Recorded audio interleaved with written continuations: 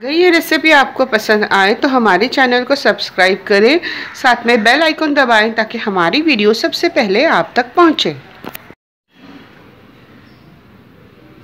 अस्सलाम वालेकुम and hello friends आप सबका खैर मकदम है। आज हम बना रहे हैं चिकन 65 चिकन 65 बनाने के लिए मैंने ली है 300 ग्राम्स बोनलेस चिकन और इसके मैंने डेढ़ इंच के पीसेस कट कर लिए हैं।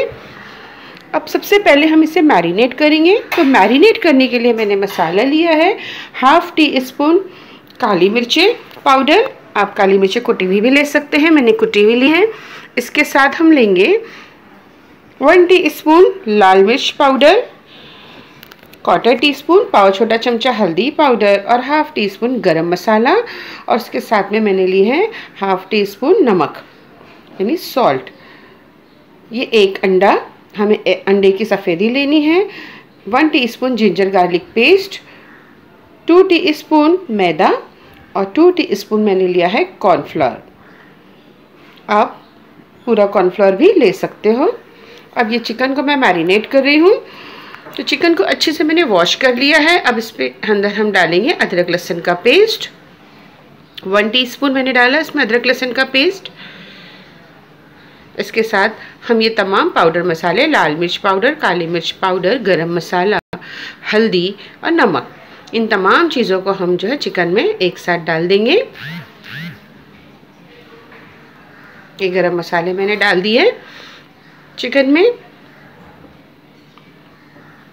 ये साथ में मैं डाल रही हूँ आधा नींबू का रस। वन टीस्पून ये नींबू का रस है, इसे मैंने डाल दिया। आप इसकी जगह वेनेगर भी ले सकते हो। और इसे अच्छे से हम मिक्स करके मैरिनेट करने के लिए 30 मिनट्स के लिए रख देंगे। 20 से 30 मिनट के लिए मैरिनेट करेंगे। ये देखिए 30 मिनट्स हो चुके हैं। चिकन बहुत ही अच्छे से मैरिनेट हो गई है। मसाले अंदर तक चिकन में पहुँच गए हैं। अब ये देखिए मैंने तकरीबन सात से आठ कड़ी पत्ते, जिसे करी लीव्स भी कहते हैं, इसको बारीक चॉप कर लिया है और इसको मैंने मिला दिया चिकन में और उसके साथ मैंने मिला दी एक अंडे की सफ़ेदी। हम अंडे की योग यानी जर्दी नहीं मिलाएँगे। सफ़ेदी मिलाने से चिकन जो है बड़ी क्रिस्पी रहती है क्रंची होती है, नहीं, और योग मिलाने से नरम हो जाती है। अब ये मैंने मिला दिया, अब इसके अंदर मैं मिला रही हूँ दो छोटे चमचे मैदा ऑल पर्पस फ्लावर और टू टीस्पून ही मैंने मिलाया है कॉर्नफ्लावर आप सिर्फ़ कॉर्नफ्लावर भी मिला सकते हो। इसे मिलाकर हम अच्छे से मिक्स कर लेंगे। ये देखिए चिकन अच्छे से मिक्स हो गई है। अब हम इसे फ्राई करेंगे। ये अंडे की सफ़ेदी, देखिए मैं आपको तोड़ के बता रही हूँ। अंडे की सफ़ेदी मैंने इस तरह अलग की है।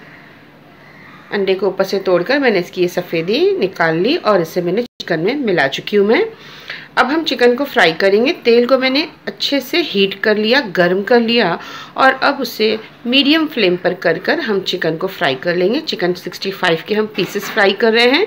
ज़्यादा हाई फ्लेम पर हम चिकन नहीं फ्राई करेंगे, नहीं तो यह अंदर से कच्ची रह जाएगी और ऊपर से जल जाएगी। मीडियम फ्लेम पर मैं इसे फ्राई करी हूँ। देखिए कितना खूबसूरत इसका रंग आ रहा है। इसके अंदर हम मिलाएँगे थोड़ा सा फ़ूड कलर भी आप मिला सकते हैं। ये देखिए। मैंने इसके बैटर में थोड़ा सा फ़ूड कलर मिलाया है तो इससे इसका कलर बड़ा ही अच्छा आ रहा है। अब ये देखिए चिकन बहुत अच्छे से फ्राई हो चुकी है। जब निकालने का वक्त आएगा तो इसे थोड़ी देर के लिए, कुछ सेकंड के लिए हम फ्लेम को दोबारा से तेज़ करेंगे और ऐसे निकाल लेंगे। ये देखिए चिकन बहुत अच्छे से फ्राई हो गई है, बहुत ही क्रिस्पी है ये बाहर से।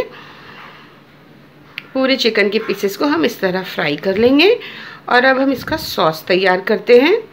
सॉस तैयार करने के लिए ये देखिए, मैंने ये लिया है half teaspoon red colour, red food colour, one teaspoon soya sauce, one tablespoon मैंने लहसुन को काट लिया है और साथ में एक इंच के अदरक के टुकड़े को ग्रेट कर लिया है। आधा छोटा चमचा शक्कर, यानी शुगर, आधा छोटा चमचा ज़ीरा, एक चमचा मैंने लिया है काजू के टुकड़े और साथ में मैंने लिया है chilli garlic sauce, one tablespoon.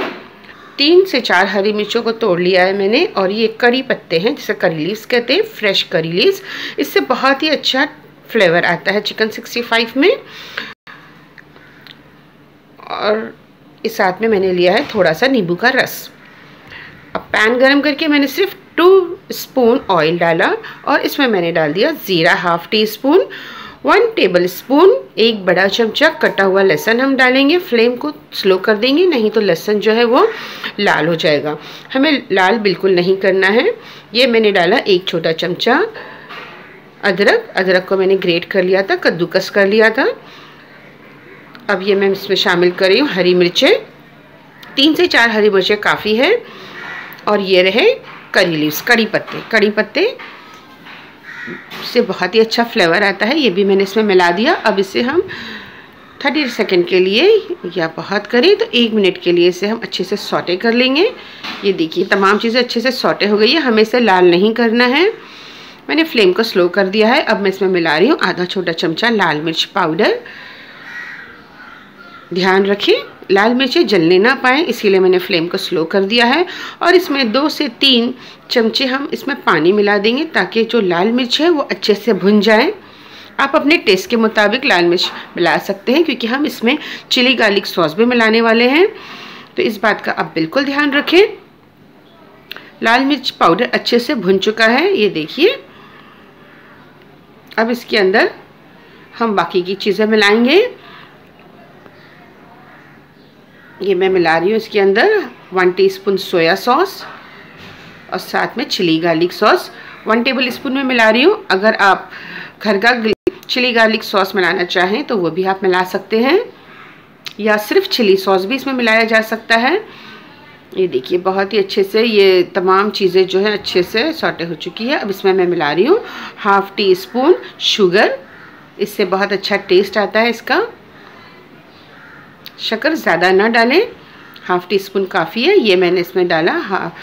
One teaspoon lime juice, यानी नींबू का रस। आधा नींबू हमने चिकन के मैरिनेशन में डाला था और आधा नींबू का रस मैंने यहाँ पे डाला। तमाम चीज़ें बहुत ही अच्छे से मिक्स हो गई है। बहुत ही अच्छा सॉस हमारा टेस्टी तैयार हो गया है। ये मैंने मिलाया हाफ़ टी स्पून नमक। तो ये हमारा सॉस तैयार है। अब इसके अंदर मैं मिला रही हूँ चिकन के पीसेस जिसे हमने फ्राई किया था, इसमें अच्छे से इसे हम मिला लेंगे। ये देखिए, पूरे चिकन के पीसेस को हमें सॉस में कोट कर लेना है। तो लीजिए, देखिए, बहुत ही लजीज, बहुत ही टेस्टी चिकन 65 तैयार हो रही है। रेस्टोरेंट का टेस्ट देने के लिए लुक देने के लिए मैंने इसमें मिला दिए थोड़े से काजू के टुकड़े। ये ऑप्शनल है। तो लीजिए, तैयार है बड़ी ही टेस्टी रेस्टोरेंट से भी अच्छी चिकन 65 आप इस रेसिपी को ज़रूर ट्राई कीजिए। और अगर आपको ये पसंद आए तो अपने दोस्तों के साथ, अपने फैमिली मेंबर के साथ हमारी वीडियो को शेयर करें लाइक करें, साथ में अपनी दुआओं में हमें याद रखें। अल्लाह हाफिज़। अगर आपको ये वीडियो पसंद आया हो तो हमें लाइक शेयर सब्सक्राइब करना ना भूलिए। फिर मिलेंगे एक नई रेसिपी के साथ। Thank you